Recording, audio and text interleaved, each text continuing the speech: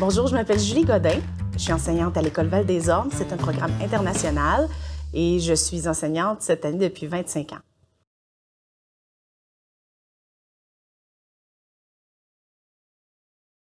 Alors, le projet sur lequel j'ai travaillé, moi, cette année, c'est un projet de bande dessinée avec la réalité augmentée euh, et on avait une thématique policière. Donc, les élèves devaient créer une bande dessinée policière et on devait retrouver à l'intérieur des bandes dessinées, des indices en réalité augmentée.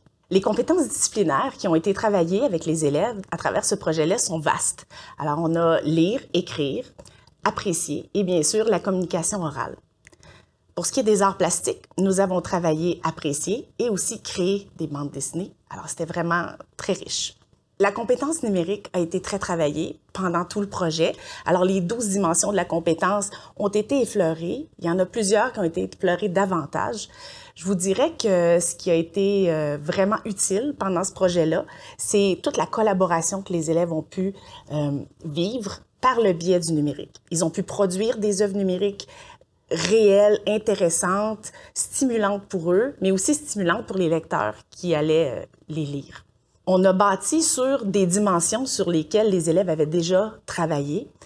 On a pu alors se rendre jusqu'à l'innovation. Et l'innovation dans ce cas-ci, évidemment, c'était l'intégration de la réalité augmentée à l'intérieur de nos projets de bande dessinée. Le projet que j'ai vécu avec la réalité augmentée a beaucoup d'éléments. Ça peut paraître gros, sauf que toutes ces étapes-là ne sont pas nécessaires à la réalisation nécessairement d'une bande dessinée avec la réalité augmentée.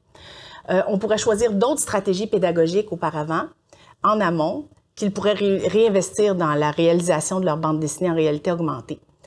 Donc, ce que je donnerais comme conseil aux enseignants, c'est de se demander essentiellement qu'est-ce qu'ils ont goût de vivre avec leurs élèves, qu'est-ce qu'ils veulent qu'ils soient capables de faire à la fin, mais de s'assurer de leur donner les outils avant tant numérique que pédagogique, pour qu'après, la création de la bande dessinée se fasse beaucoup plus facilement. Parce qu'avec toute la meilleure préparation, il y a toujours des embûches pour une présentation qui n'a pas de numérique. Donc, avec le numérique, il peut y avoir des embûches un peu différents.